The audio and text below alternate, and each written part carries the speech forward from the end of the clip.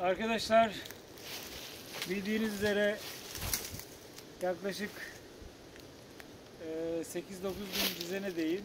Bugün işlerden güçlerden biraz kendime zaman ayırarak dağları taşları dolaşmaya karar verdim. Şimdi eee, ayın bugün eee, Mayıs'ın 10'u 2021. Şimdi Otlaş'ın başındayız.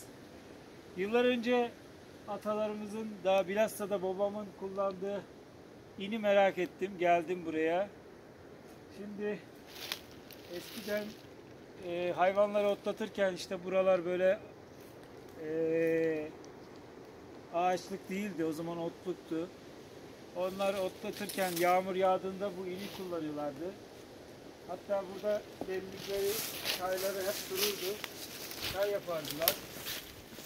İşte bu mağara diyelim ya da bunun önü biraz daha böyle duvarlarla örülüydü.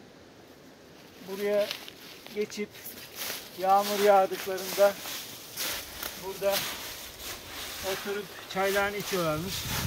Hatta burada e, hala duruyor. Bir tane sehpa gibi taştan masa yapmışlar. İşte kendilerine sehpa yapmışlar. Böyle gördüğünüz gibi burada böyle zamanlarını geçiriyorlarmış. Aslında güzel bir yer. Ben çok merak ediyordum. Geldim, gördüm. Hatta Ali Hoca'nın ini diye bilinir burası. Bilhassa babam burayı kullanırdı. Şimdilik bu kadar. Görüşmek üzere.